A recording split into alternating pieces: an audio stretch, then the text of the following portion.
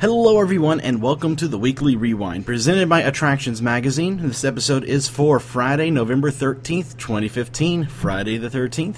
I am your host, Banks Lee. We're going to look back at the past seven days of our Twitter feed at Attractions, beginning last Friday with November 6th. We were over at Gaylord Palms for the preview of their annual ice exhibit. This year it is themed to Twas the Night Before Christmas. You can see video from inside the display as the artisans are carving the ice on our YouTube channel channel at youtube.com slash attractionsmagazine.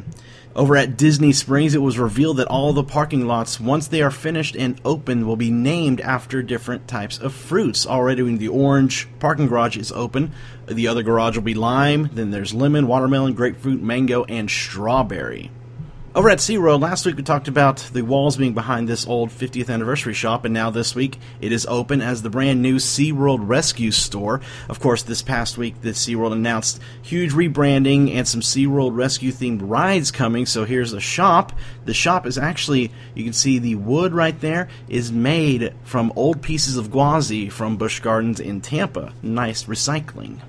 Over at Disney Springs, we saw that they have new Tsum Tsums available based off of Disney attractions really cute. I love this. While we were over at Disney Springs, we saw some new nutcrackers on sale over at the World of Disney. Comment below, let me know which one of these nutcrackers is your favorite. Personally, I love the Tower of Terror one. On November 7th, it was revealed that Beetlejuice's Graveyard Revue over at Universal Studios Florida will be closing for good on December 3rd, which means the last show will be December 2nd. Back over at Disney Springs, the new pedestrian bridge over Hotel Plaza Boulevard is now available for guests to walk over, making it much easier for those staying at the downtown, or the, I should say, Disney Springs area resorts to get from their hotels to Disney Springs. On November 8th, we were over at Legoland Florida's water park for a Everything is Possum event where people were invited out to bring their dogs and play in the water areas around the water park. You can see video of this on our latest episode of the show. On November 9th, we showed everyone the logo for this year's Disney Christmas Day special, the Disney Parks Unforgettable Christmas Celebration.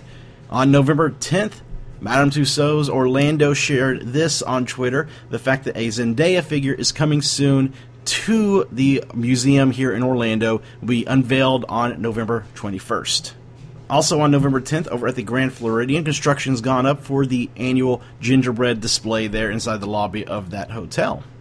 Big thing that happened on November 10th was the first day of filming for the Disney Parks Unforgettable Christmas Celebration. Here's a look at some of the audience waiting to go into the park for the first day of filming, which included a performance here in the hub area from the cast of Descendants, and they were all there. You can see right here there is Dove Cameron and Sofia Carson coming in, getting ready to film their song. They sang Rotten to the Core. And in between takes, so cool of them, they would go over to some of the people in the audience and take photos with them. I thought that was really neat. That night on November 10th, we were over at Disney's Hollywood Studios for the Merry and Bright dessert party at the Osborne Family Spectacle of Dancing Lights. You can see me right here, kind in shock how big this apple pie is as part of the dessert party. We'll have more video and looks into this dessert party and the lights themselves on a future episode of the show.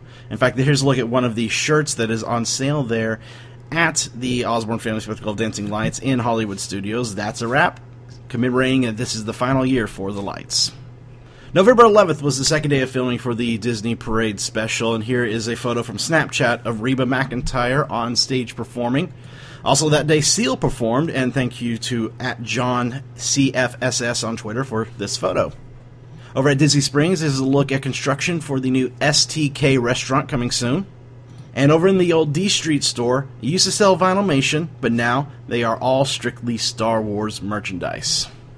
November 12th, day three of the Christmas Parade filming. More performances on the castle stage, including Charles Perry and Jhené Aiko right here performing a duet. This was a special moment. Jason Derulo brought a couple up onto the stage and he proposed to his girlfriend, now fiance, and it was such a touching moment. You can see video of this on our YouTube channel, and I hope they include this in the actual special when it airs on Christmas Day. Ariana Grande was also there to perform. She did two songs, and then as well as Andy Grammer did two songs as well. Also, November 12th, we were over at the Orlando Museum of Art for the Festival of Trees. Different places created their own trees that you could buy. You could own this one right here for $12,000.